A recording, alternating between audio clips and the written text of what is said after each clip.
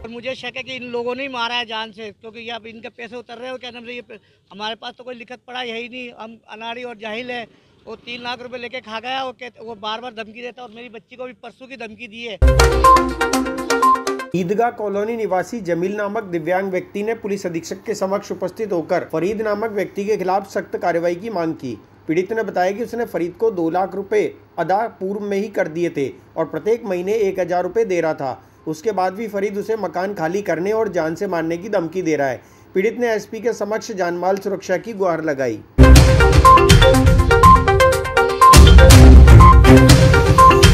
साहब को भी पहले भी काफ़ी ये कर दे चुका हूँ। मैंने फरीद को दो लाख रुपए दिए थे। आज से तीन साल पहले 16 दिसंबर 2019 को। क्या सर, और एक हज़ार रुपये महीना तय हुआ था, बाकी लाख रुपए, तीन लाख में मकान का सौदा हुआ था। हमने कागज़ मांगे तो कहे कि आपको मकान का कब्जा दे दिया है।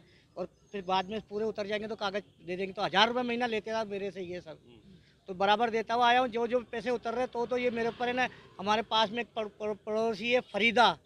अमीर हुसैन उसके गंडों ने मिल मिल के क्या नाम है मेरे को यहाँ से मार कूट के बाहर निकालना चाह रहे थे।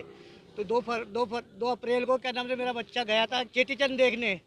तो उसके दरमियान तेईस तारीख को मैं क्या नाम से मेरे बच्चे के ऊपर जानलेवा हमला करने आए थे। तो क्या नाम से शीतला माता का मेला था तो वहाँ चला गया खाना देने मेरी पत्नी को। तो क्या नाम से वहाँ से तो वो बच गया। लेकिन दो अप्रैल को क्या नाम से वो मेरा बच्चा गया तो उसके पीछे, सुबह तीन तारीख को हमारे को मरा हुआ दिखा आमिर।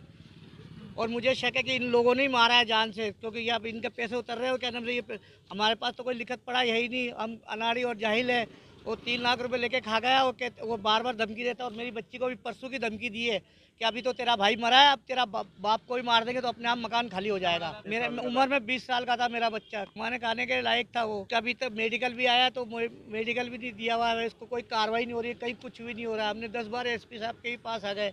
अब आज आई जी साहब के पास जाने की कोशिश हो रहा है अब आपकी मेहरबानी हो जाए आपकी तो कुछ कार्रवाई हो जाए। ये तो अभी तो मेरे बच्चे का तो यहाँ का है।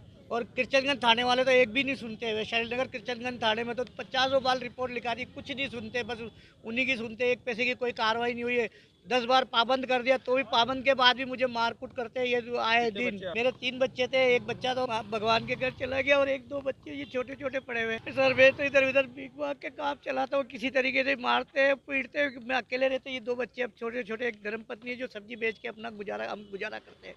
थोड़ा बहुत जो कमाते हो, जो कमाते हैं। मेरे को जो सबसे ज़्यादा मेरे भाई सलीम के ऊपर, फरीद के ऊपर और ये ये जो जितने भी है ना, अवैध कब्जे कर रहे हैं, वहाँ पे कई बार मैंने इनकी रिपोर्ट भी लिखा इनके ऊपर शक है मेरे को।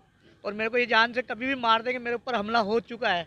कर चुके हैं ये हमले अभी भी हमला हुआ है इस दिन में अभी तेईस तारीख को भी मैं बचाऊँ मरते मरते। अभी मैं आईजी साहब के पास जाऊँगा यार एसपी साहब दे दी मैंने रिपोर्ट कोई कार्रवाई नहीं हो रही है आईजी साहब से कुछ कर लो कोई फरियाद सुन ले मेरी तो सुन ले। मेरा नाम खलील है मैं यहाँ अभी ईदगाह कॉलोनी गली नंबर तीन पे रहता हूँ sir.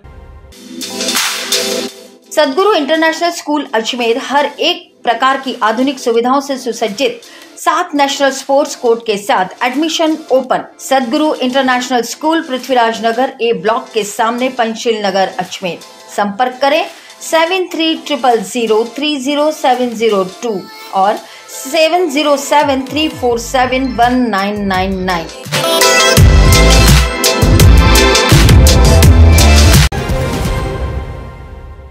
Shri Lakshmi Vihar, Foy Sagar road, Ajmer. क्या आप फाइसागर रोड पर नई कॉलोनी में अपना प्लॉट लेना चाहते हैं तो तुरंत संपर्क करें seven seven three seven two two six six nine five. हमारे यहाँ उपलब्ध है पैंसठ गज से लेकर 180 गज तक के प्लॉट्स। आज ही बुक करें, बने अपनी ज़मीन के स्वयं मालिक। अगर आप बना बनाया मकान भी लेना चाहते हैं, तब भी संपर्क करें। Eight three zero two five zero three four two eight. Shri Lakshmi Vihar Foy Sagar road Ajmer.